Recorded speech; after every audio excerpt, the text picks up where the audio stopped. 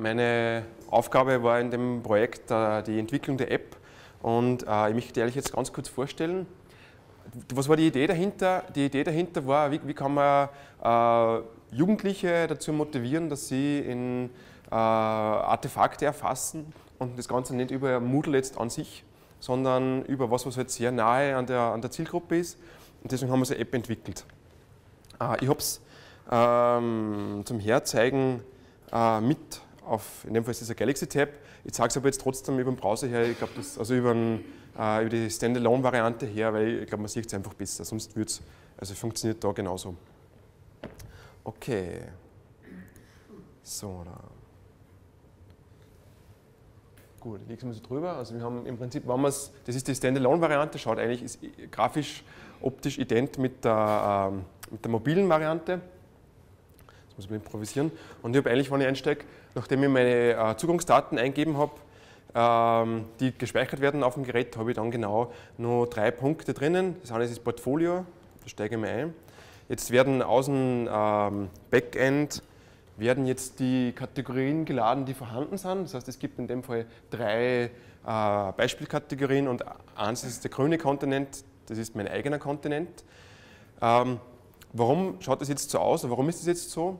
Also unsere Idee war, dass man es eben sehr spielerisch macht und ähm, da was aufgreift und zwar die, die, eine Landschaft, also eine Landkarte aufgreift mit Kontinente. Dass man jetzt nicht sagt, okay, es gibt jetzt die sozialen Kompetenzen als Listeneintrag oder als, als Tabellenansicht, sondern dass man sagt, wir machen Kontinente und durch das ähm, äh, Uploaden oder durch das Vervollständigen von Beispielen entdecke ich quasi den Kontinent immer mehr und kriege dann dazu ein visuelles Feedback, wie das ausschaut. Also ich mache mir ein Beispiel, ich gehe dort eine, wo ich mich auskenne, digitale Kompetenzen. Äh, ich hoffe, man sieht es ein bisschen. Da bin ich jetzt quasi in, der, in einer weiteren Gliederungsebene drinnen. da gibt es momentan informatische äh, Grundbildung oder ich kann eine neue Kategorie erstellen. Gehen wir bei informatischer Grundbildung ein und kriege da mal äh, verschiedene Beispiele, die drinnen sind. Also ich pick mir jetzt mal irgendeins außer. Nehme zum Beispiel Datenschutz und Datensicherheit und habe da jetzt eine Aufgabe drinnen, die heißt Touristenführer. Schauen wir mal, was das ist. Ähm, okay, also da geht es jetzt um, meine Freundin kommt aus einem anderen Land und ich muss jetzt da eine Aufgabe erfüllen. Ich kann mir, dass ich mal den, den Text noch mehr durchlese, gibt es die Möglichkeit, dass ich mal das Beispiel im Browser ansehe. Vielleicht mache ich das auch kurz. Okay, das ist dann hier rüben. Dann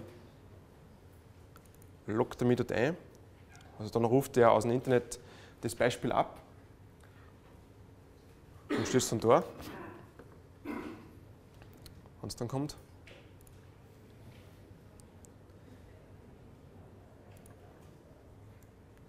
Ich mache zwei so parallel auf, kann ein bisschen warten, bis dahinter kommt. Und ich habe jetzt verschiedene Möglichkeiten, wenn ich das Beispiel habe, dass ich die, die Aufgabe löse. Und zwar in dem Fall, indem ich eine, eine Datei uploade.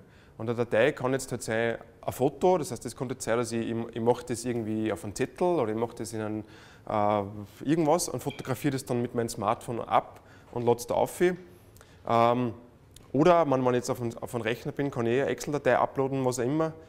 Kommt darauf an, was halt die Aufgabe des Beispiels ist. Ich gehe jetzt mal auf Datei und suche mir dann mal irgendein Bild aus. Dilemma, ja.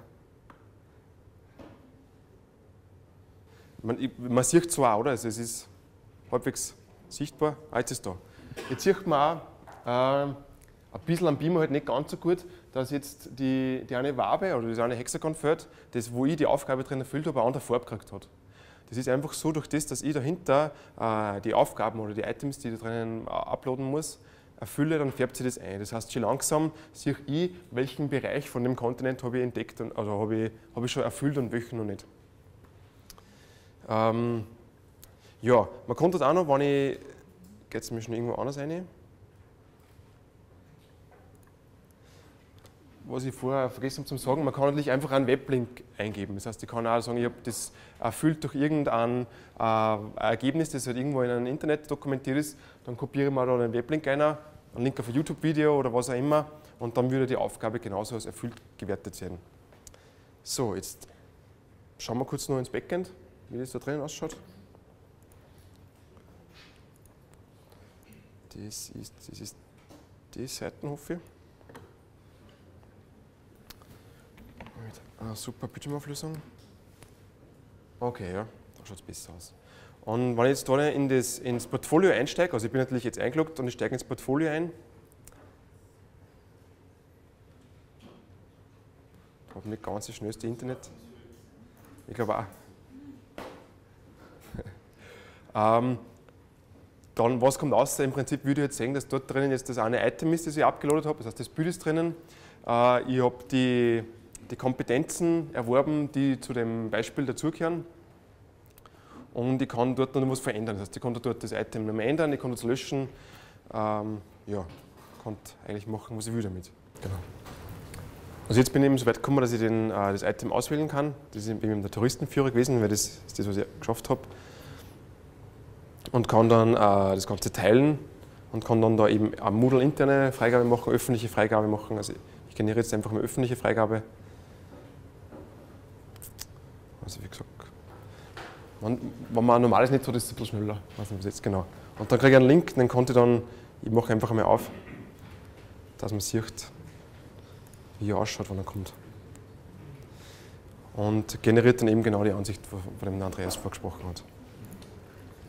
Ja, und das Ganze konnte natürlich noch, das zeige ich jetzt vielleicht nicht mehr her, ich sage es noch kurz dazu, ähm, mit im Prinzip eigene, äh, eigene Items machen, mit, mit, dem eigenen Kontinent. Da kann ich eigentlich ganz frei wählen, was ich da, welche Kategorien ich mir da drin auswähle. Also wenn ich jetzt einmal einsteige, habe ich am Anfang ist jetzt bei mir nichts drinnen äh, bei der Präsentationsoberfläche und dann kann ich eben eigene Kategorien anlegen, eigene Unterkategorien anlegen und da drinnen dann äh, Sachen zum Erfassen anfangen und hätte dann die Struktur dann genauso wieder im Moodle drinnen wo dann im Moodle noch wieder was ändern kann und das wird dann immer synchronisiert. Also das, deswegen ist der, der Grund, warum es jetzt gerade ein bisschen langsam rennt, das, das holt sich die Daten immer online und weil es halt immer synchronisiert ist.